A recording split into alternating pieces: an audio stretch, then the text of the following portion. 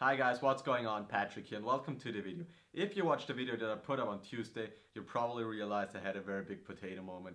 And what happened is that I filmed the whole recipe video without turning the microphone on. So I had like 30 minutes of recipe footage without audio to it.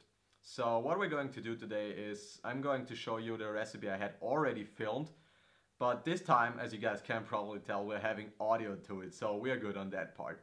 And what I'm going to show you is how you can probably create the best chocolate protein shake you're ever going to taste. And why is that? Because I like to try different variations and combinations to create a flavor that I like and not get so quickly bored of.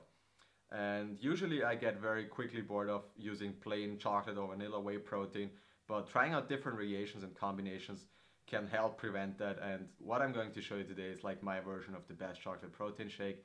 And without further ado, grab yourself a snack, sit back, relax and enjoy the video.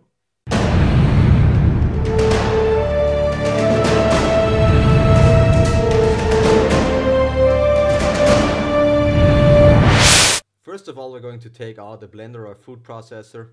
So our first ingredient is going to be 40 grams of a chocolate whey protein powder. Next up, we're going to add 30 grams of an unsweetened cocoa powder. Our next ingredient is going to be 30 grams of dark chocolate chips. Then we're going to add 25 grams of sweetener of your choice. I'm using Erythrit today. You can use stevia, sugar, brown sugar, coconut sugar, whatever you like. Try out different variations to create the flavor that you like. So our last and final ingredient is going to be 450 milliliters of unsweetened almond milk.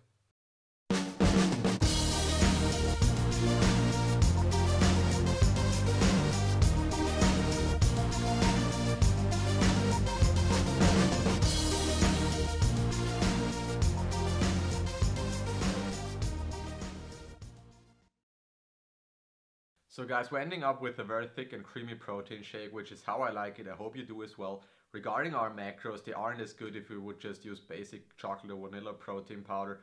But on the other hand, we're getting a very delicious protein shake, which is awesome.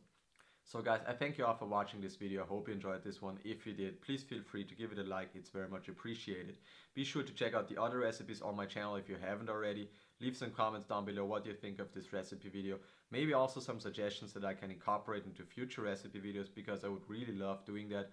Be sure to subscribe to my channel if you haven't already and I'll see you in the next video.